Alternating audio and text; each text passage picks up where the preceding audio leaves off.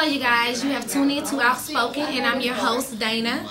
Today, I'm at um, Southeast Medical Center in Dothan, Alabama, with my sister Deidre. She had her little girl yesterday at 3:49 p.m. Her name is Amirah Jalea Newman. She was five pounds, 12 ounces, and 20 inches long. Say hi.